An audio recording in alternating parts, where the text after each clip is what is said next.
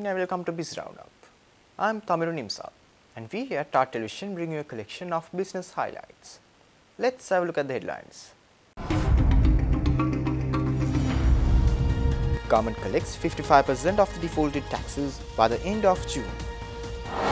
Colombo land prices see a notable increase. Ceylon tea increases in value across all elevations. News in detail. Headline inflation as measured by the year-on-year change in the Colombo Consumer Price Index has decelerated sharply to just 0.5% in August, down from 2.4% in July. This significant slowdown aligns with the projections made by the Central Bank of Sri Lanka. Food inflation also saw a drop easing to 0.8% in August from 1.5% the previous month. Similarly, non-food inflation took a sharp turn, declining to 0.4% in August from 2.8% in July. On a month-on-month -month basis, the CCPI recorded a decline of 1.85% in August, driven by price decreases across both food and non-food categories. Core inflation, which provides a clearer picture of the underlying inflation trends, also eased to 3.6% in August from 4.4% in July. Looking ahead, headline inflation is expected to remain well below the 5% target in the coming months. Over the medium term, inflation is projected to gradually stabilize around the targeted level, supported by appropriate policy measures. Sri Lanka's Inland Revenue Department has made significant progress, successfully collecting 55% of the defaulted taxes by the end of June this year.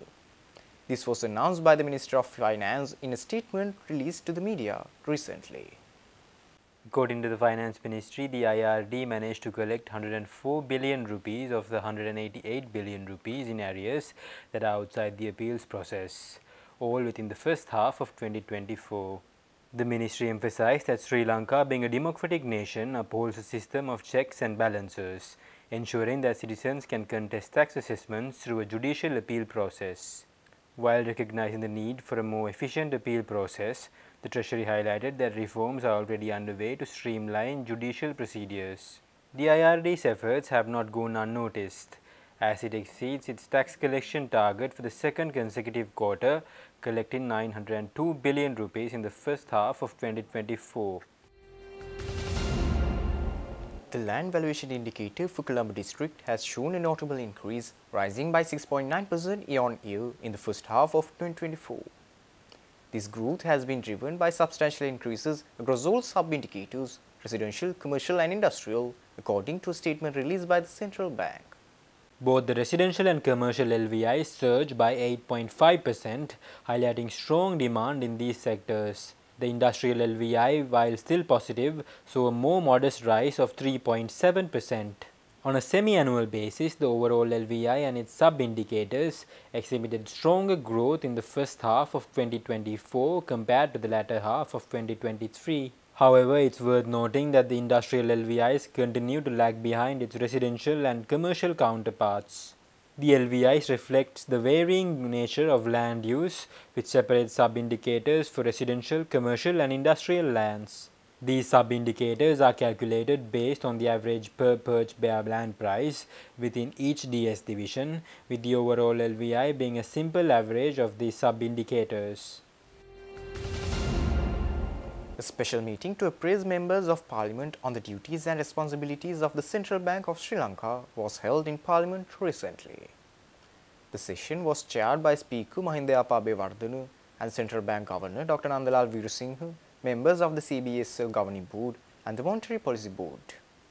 This meeting was held as part of the legal mandate requiring Parliament or a committee to inquire into the central bank's activities every four months as stipulated in the Central Bank of Sri Lanka Act of 2023. During the meeting, Governor Dr. Nandalal Weerasinghe highlighted several key achievements, including reducing inflation to 5% and lowering the policy interest rate. Dr. Nandalal Weerasinghe credited the new Central Bank Act and the recently introduced banking regulations as instrumental in achieving considerable economic stability. The governor also detailed the establishment of a financial system monitoring committee to ensure the stability in banking, non-banking financial institutions, the stock market and the insurance sector. Stay tuned. We will return after short commercial break.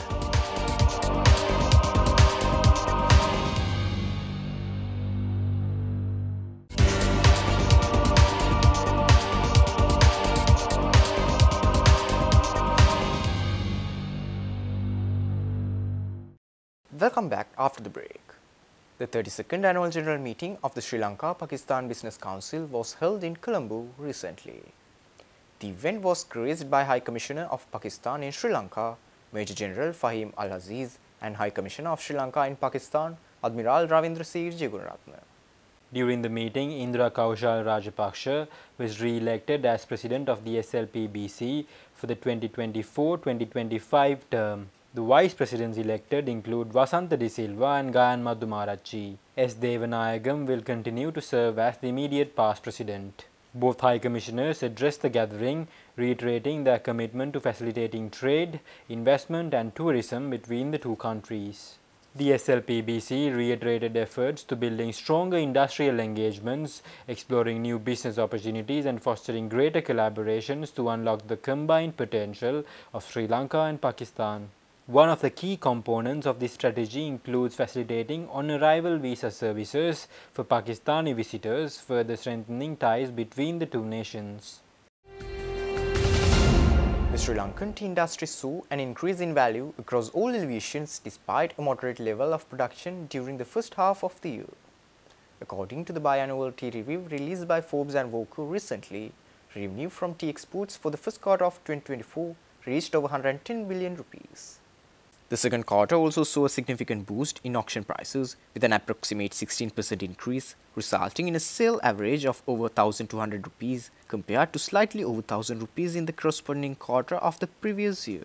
This rise in auction prices has been attributed to lower to moderate tea production during the period under review. Notably, the revenue earnings for the second quarter of 2024 surged to 110.04 billion rupees, a substantial increase from the 99.7 billion rupees recorded in the same quarter last year. However, the report also highlights some challenges, particularly concerning key markets like Russia and Turkey. Russia, the world's largest importer, may face constrained demand due to ongoing sanctions. Meanwhile, Turkey, accounting for 5 to 6 percent of global tea consumption, remains a significant player in the Sri Lankan tea market.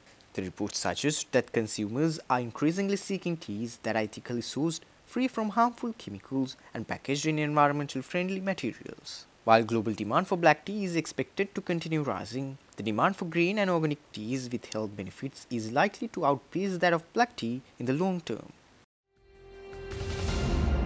The Veg Voyages Foundation Vegan Travel Asia, in collaboration with Sri Lanka Tourism, offering a comprehensive plant-based culinary workshop tailored specifically for Sri Lanka. This workshop, which is being conducted in both Sinhala and English, is set to take place on the 6th and 7th of September at Ranbath Organic from 10 am to 12.30 pm. A press conference to make this announcement was held in Colombo earlier this week.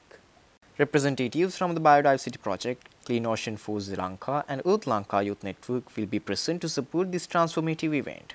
The workshop is open to the public, including chefs, business owners and individuals interested in the plant-based industry. Additionally, there will be closed workshops for schools and universities.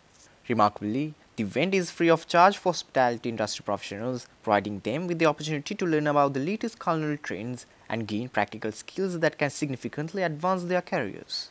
In addition to the knowledge and skills gained, participants will receive international certification in sustainability practices further boosting their professional credentials. Plant-based industry is growing all around the world and there are many factors behind it.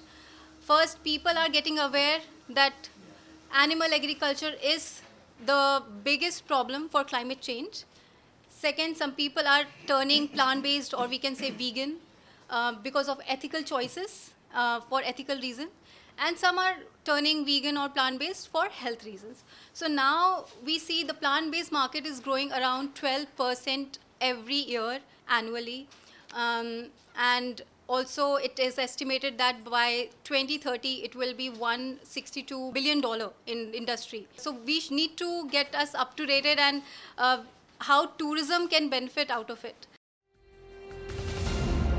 stay tuned we will return after this short commercial break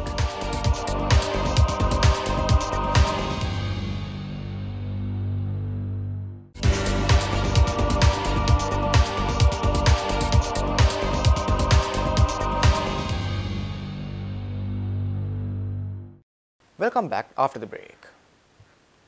The Ceylon Chamber of Coconut Industries has raised alarms regarding Sri Lanka's coconut supply, warning that current production levels are insufficient to meet both domestic consumption and increasing export demands.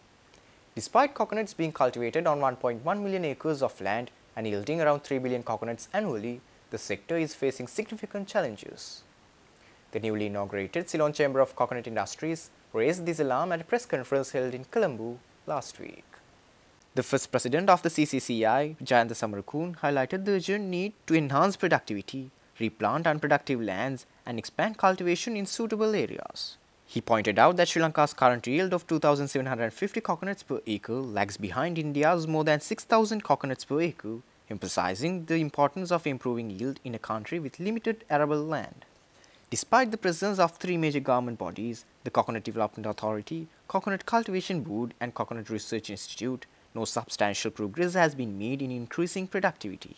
To address this issue, the CCCI is seeking funds to implement a Geographic Information System project to gather critical data for formulating a national plan for the industry.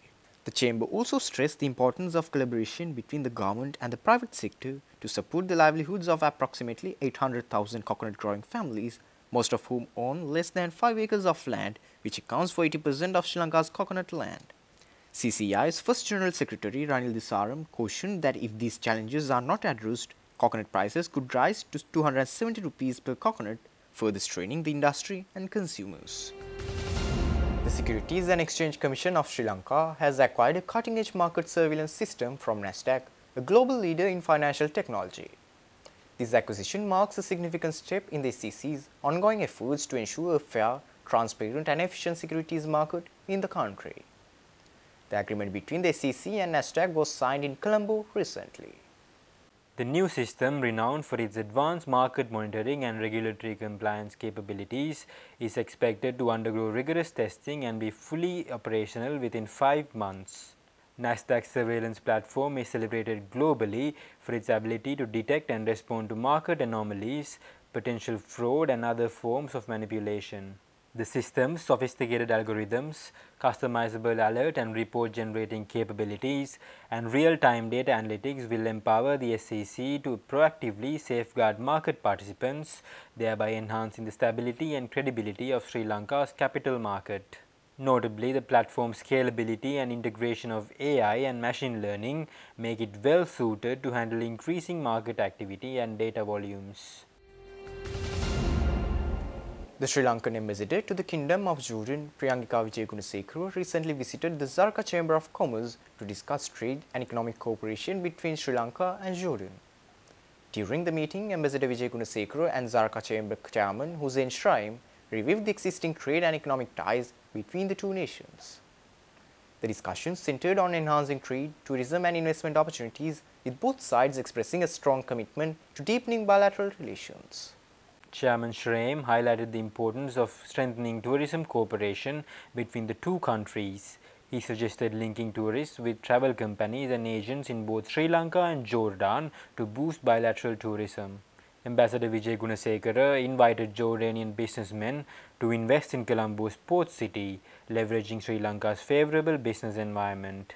Ambassador Wijegunasekara also expressed a desire to increase the volume of trade exchange between the two countries. She encouraged Jordanian companies to explore opportunities to export their renowned olive oil and Dead Sea salt products in Sri Lanka. Additionally, she noted the potential benefits of deploying more skilled Sri Lankan workers in Jordan's industrial cities. With that, we wind up for today. For this and more, subscribe to our channel on YouTube and follow us on Facebook. See you tomorrow with State of Business at 7.45 pm. Take care and good night.